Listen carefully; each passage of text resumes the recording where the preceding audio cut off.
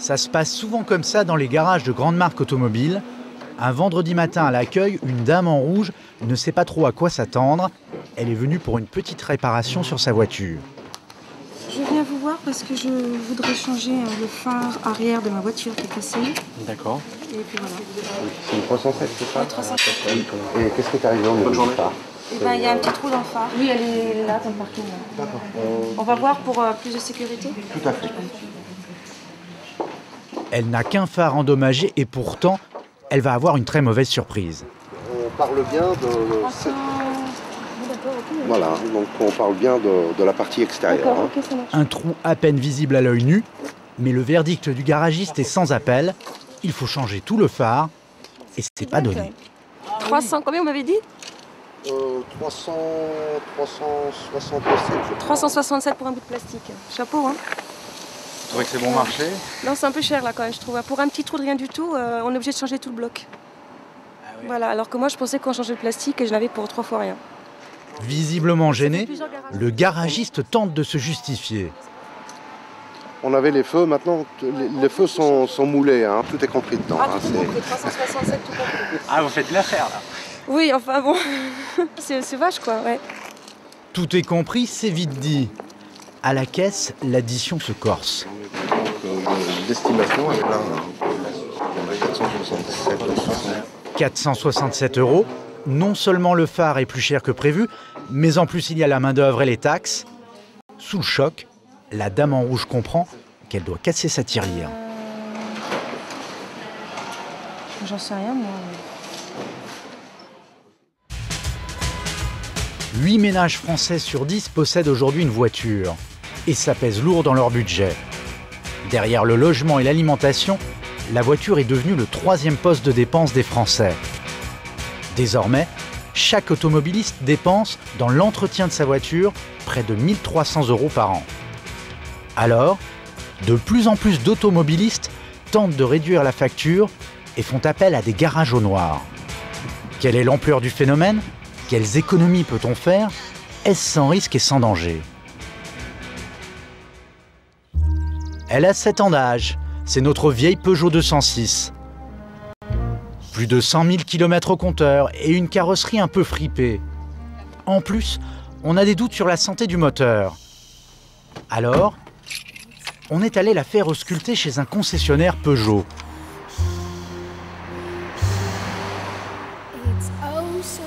Deux heures plus tard, le bilan est sévère et la note salée. On va laisser tomber la révision qui nous coûterait 190 euros. Plus urgent, il faut changer l'embrayage, 560 euros, et les plaquettes de frein, 110 euros. Au total, 670 euros, garantie pièces et main-d'œuvre. Mais un copain nous a conseillé un autre garage en région parisienne. Ce n'est pas un concessionnaire, mais un garage multimarque. Bonjour, Euh, je viens vous voir, c'est un, un copain à moi qui s'appelle André qui est venu faire réparer une, euh, une Volkswagen- une Golf chez vous Oui. et qui m'a conseillé de venir chez vous parce que vous faisiez du bon boulot. Petit check-up du garagiste. Pas beaucoup d'embrayage. Ah Il a pas beaucoup d'embrayage. En moins de 5 minutes, il nous concocte un vrai devis au même tarif que le concessionnaire, mais il propose un petit arrangement. Voulez en espèces, vous fais 570 euros. Si jamais je, vous paye euh, en liquide, Mhm. c'est-à-dire que j'aurai pas de facture. Je vous ferai un petit papier à la main. 90 euros de moins par rapport au devis. On économise la TVA, mais là, c'est sans garantie.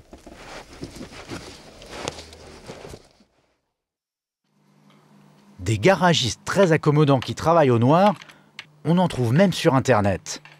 Quelques clics et nous dénichons des annonces très alléchantes.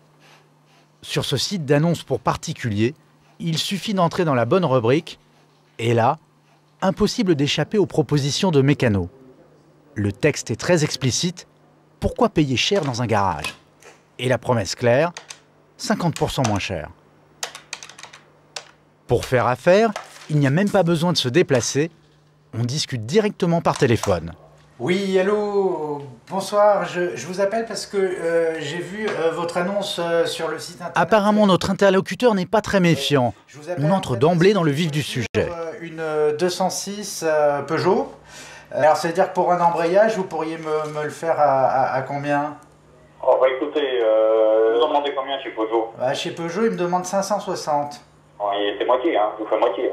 50% de ristourne, l'annonce ne mentait pas. Je suppose que ouais, j'aurais pas de facture, quoi.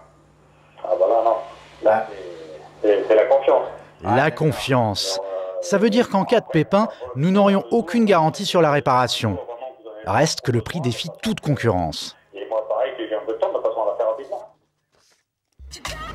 L'un de ces garagistes qui travaillent au noir a accepté de nous rencontrer sous couvert d'anonymat. Nous l'appellerons Nicolas. Dans la vraie vie, ce commercial dans une PME gagne 2500 euros, mais dès qu'il a du temps libre, il met les mains dans le cambouis, histoire d'arrondir ses fins de mois. Tu répares ces voitures quand euh, À quel moment? Bah, Quand c'est des petites interventions entre midi et deux, pendant mon heure de déjeuner. Et euh, puis il y a des fois les week-ends, ça peut arriver que je travaille dessus samedi, dimanche. Ou il y a des fois des RTT, au lieu de rester à la maison, bah, autant s'occuper. Ce jour-là, Nicolas doit réparer cette 106 verte pour un client. Surprise, ça va se passer dans un vrai garage. Il a un copain qui lui prête son atelier et ses outils gratuitement. Et tout le monde y gagne. Je peux lui envoyer des, clients à moi. Parce que c'est des réparations qui sont assez lourdes. Moi, je n'ai pas le temps de les faire. Dans ces cas-là, c'est lui que j'envoie. Je l'envoie chez lui directement. Ah, c'est un échange de C'est un échange de bons procédés, tout à fait. Le problème de cette 106 verte, c'est deux grosses tiges de métal reliées aux roues qu'on appelle des cardans. D'après le garagiste chez lequel le client de Nicolas a fait faire un diagnostic, il faut les changer. Ah, bah, écoute, si tu veux, moi j'ai eu entre guillemets le devis de chez Peugeot qui lui euh, prenait 426 euh, euros. Tout compris. Donc euh, fourniture, dépose et pose. Euh, moi, je serai aux alentours avec l'achat, l'achat et la main-d'œuvre, autour des 200 euros. 50% moins cher. Mais pour ça, il faut d'abord trouver les pièces. Ouais, celle-là, la du jeu. Celle-là, du jeu. Pour se fournir, il a une combine. Il va aller chez un grossiste en pièces détachées et l'acheter à un tarif préférentiel alors là, il te faut une remise. Pourquoi? Parce que tu viens de la part de ton pote garagiste Oui, tout à fait. Je viens euh, de la part d'un professionnel, donc ils, font, ils me font une restaurant de garage. 30% de réduction pour les professionnels. Nicolas va donc payer ses dans 82 euros, là où le propriétaire de la voiture les aurait payés 117 chez son concessionnaire. Il faut juste une petite signature sur celui-là. Une fois sur place, le vendeur ne demande à Nicolas aucun justificatif prouvant qu'il est un vrai garagiste. Merci beaucoup qu'il fallait? Oui, parfait. Eux, ils vérifient pas que tu travailles dans un vrai garage euh Non, euh, ils regardent pas. ce qui les intéresse, c'est de vendre du matériel. Après, le reste. En gros, ils ferment un peu les yeux, quoi. Oui. Une complicité qui arrange tout le monde. Selon le syndicat des garagistes, plus de 20% des pièces automobiles achetées dans ces magasins seraient payées en liquide. De retour au garage, il ne va falloir que quelques minutes à Nicolas pour réparer la 106. Et on va y aller. Le tout, c'est de le renquiller correctement. Voilà. Voilà. Il est à sa place. Au total, il aura passé 1h30 sur cette voiture. Le coût de la main-d'œuvre, c'est surtout là que se fait la différence. Nicolas se fait payer 40 euros de l'heure contre 92 euros chez le garage concessionnaire. Pourquoi t'es moins cher? J'ai pas de charge. Faut bien se démerder. Ni vu ni connu, cette activité parallèle lui rapporte environ 1300 euros en plus du salaire de son vrai job. Ça, ça être pas mal, ou même il y a des fois, faut pas le cacher, il y a des fois ça peut même m'aider à payer mes impôts, euh, à payer, euh, à payer tout, hein, la nounou pour les enfants, euh, la, la, cantine. Quant au propriétaire de la 106 verte, il paiera 200 euros au lieu de 420, évidemment toujours sans garantie. Donc là, je vais faire un essai route. Si on accepte ce risque, au black, on peut toujours trouver moins cher. Mais parfois, ça peut virer au safari. Nous reprenons notre vieille 206 bleue. Rappelez-vous, le garagiste concessionnaire nous demandait près de 700 euros pour changer l'embrayage et les plaquettes de frein. Mais nous avons entendu dire qu'on pouvait trouver des réparateurs vraiment pas chers dans la banlieue parisienne direction le sud de Paris sur la RN7. Le long de cette nationale, une enfilade de casses de voitures et devant, parfois, des hommes avec leurs caisses à outils. Certains réparent les voitures sur le trottoir. Sur place, nous rejoignons l'un de ces réparateurs à la sauvette, aperçu devant l'entrée de cette casse quelques minutes plus tôt. Vous bricolez un peu ou? Et nous n'allons pas être déçus. L'homme qui se présente comme une pointure de la mécanique nous assure qu'il peut changer notre embrayage, pièces et main-d'œuvre comprises, pour un prix imbattable. avec la main-d'œuvre, il faut compter 300 euros. 300 euros Mais les ennuis commencent, car le patron des lieux va interrompre brutalement nos négociations. Visiblement, ce réparateur à la sauvette n'est qu'à moitié toléré par le propriétaire de la casse. Vas-y, embarque là, vas-y, appelle les flics, embarque là. Mais j'appelle pas les flics, si j'ai envie de casser, démonté, je me casse. Et alors tu sais qu'on démonte pas ici? On va devoir aller réparer ailleurs. Au passage, notre homme nous fera acheter un embrayage tout neuf dans un magasin spécialisé, là encore, avec la combine de la remise professionnelle. Au bout d'un quart d'heure de route, on se retrouve sur le parking d'une cité. Il est 11h du matin. Ce garage à ciel ouvert est assez improbable. D'après notre mécano, la réparation devrait prendre 3 heures à peine. Mais il va falloir mouiller un peu la chemise et l'aider à soulever la voiture pour la caler sur des pneus. Venu de nulle part, un autre mécano arrive à la rescousse. Mais trois heures plus tard, on est toujours loin du compte. Alors là, tu démontes quoi en fait? La 206 résiste, les deux hommes s'acharnent. C'est jamais facile. Et là, on commence à s'inquiéter. Mais ça craint pas trop quand tu fous des coups de marteau là sur les. Pas pour démonter la feuille. Ouais. T'es obligé de faire ça. Hein. Si tu tapes sur là, c'est normal. Mais si tu tapes sur ça, ça sert à rien. Tu sais.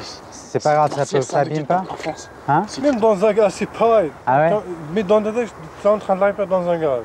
Dans un garage, tu la poses et tu reviens tout à l'heure, t'as rien vu. Et ça s'éternise.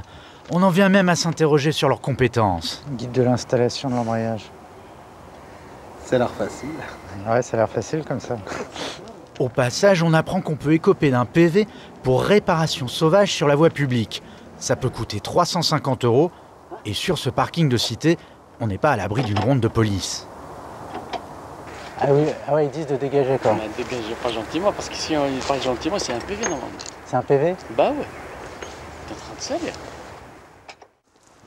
19h, on n'y voit plus rien. Dans la nuit noire, le mécano termine tant bien que mal, c'est nous qui tenons la lampe de poche. Au final, 8 heures d'épopée sur un parking, alors qu'on nous avait promis de régler ça en 3 petites heures. Les bonnes nouvelles, notre voiture roule. Stop, stop Il y a un caillou. Bah écoute, ça a l'air de marcher. Bien tiens, 100. Tu me dis Reste à passer à la caisse, D'accord. c'est 300 euros. Ouais, ouais. Bien évidemment, chèques et cartes de crédit ne sont pas acceptés. Ouais, ouais. Et, euh, et si, euh, si j'ai un truc avec l'embrayage, si je sens qu'il y a un problème, euh, je peux t'appeler, il n'y a pas de Ouais, problème Pas de problème, pas de problème. Comment quand je fais un réglage, euh, 100% réussi, tu vois. Nickel. Jamais de problème. moi. Jamais de problème. Jamais non. de problème. Bonjour. Bonjour. Stéphane Malter. Jamais de problème Dans le doute, on a quand même voulu vérifier quelques jours plus tard. Vous voulez qu'on procède euh, Bernard Tourette est expert automobile. Il a bien voulu jeter un œil sur notre voiture. En quelques minutes, le verdict tombe et ce n'est pas tout à fait le même son de cloche que sur le parking de la cité. Et donc là, ça n'a pas attendu longtemps. hein, L'embrayage a été fait la semaine dernière. Hein, on a l'huile qui coule là. hein. Ouais, ça coule bien. hein. Des traces d'huile ici. Vous voyez, l'huile, elle a coulé par là. Tout ça, c'est gras. Une fuite d'huile? Mauvais signe. Toutes les pièces n'auraient pas été remises en place. Alors il y a quelqu'un, il y a quelqu'un que je connais très bien qui me dit souvent, c'est parce qu'on paye le moins cher qui coûte le moins cher. D'accord. Et là, on en a la preuve. Mais il y a pire. Nos mécanos auraient même endommagé la voiture. Là, vous voyez ici, donc les traces, les traces de, les traces de, de- de marteau ou de mâche, je sais pas.